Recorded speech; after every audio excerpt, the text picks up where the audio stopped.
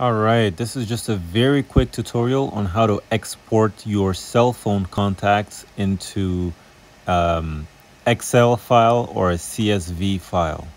So the application we'll be using is called My Contacts Backup.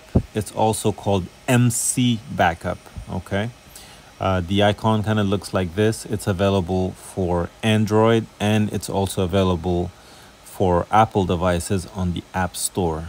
Okay, so all you Google users or Android users, you would need to log on to the Google Play Store and download this app. And once you have it downloaded, you want to open it up and then you'll kind of get greeted with this screen right here.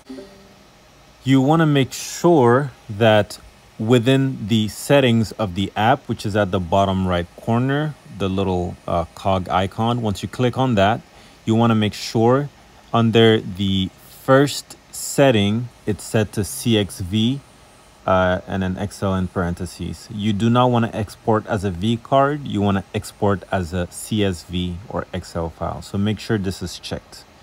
Okay. And uh, yeah, you don't need to worry about the rest. Once you're done with that, click the done button. Okay. So what you want to do is press the export button.